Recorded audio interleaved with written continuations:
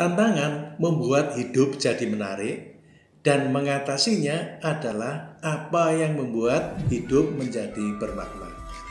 Bayangkan saja bila ada roller coaster tanpa naik dan turun, hanya datar-datar saja.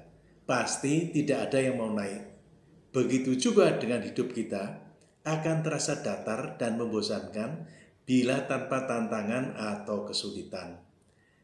Mengatasi tantangan membuat hidup terasa memuaskan dan hal tersebut merupakan kebahagiaan tertinggi. Tidak ada perkembangan tanpa adanya tantangan. Kemampuan seseorang akan tumbuh dan bertambah kuat melalui upayanya mengatasi tantangan di masa sulit.